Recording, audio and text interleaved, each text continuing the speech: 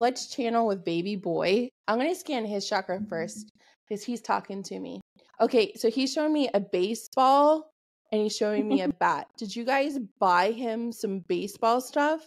Or is His like whole- that important to you? his whole well it is important to us because steve and i met um to go way back steve is my husband we met on the train platform after a met yankee game like that's how we met like that's how the two of us like got and, um so baseball has kind of been a theme in like our engagement photos um and things Oh, like like our our what our save the date was like a yankee ticket and then um So baseball is like just- symbol in, in a weave through your relationship and life together. and like i mean i just finished my, like his whole room is baseball like Okay, so he, that's him saying that's him saying he likes it. oh he likes yay. his room. He likes his oh room. yeah we it Um, yesterday He likes his room.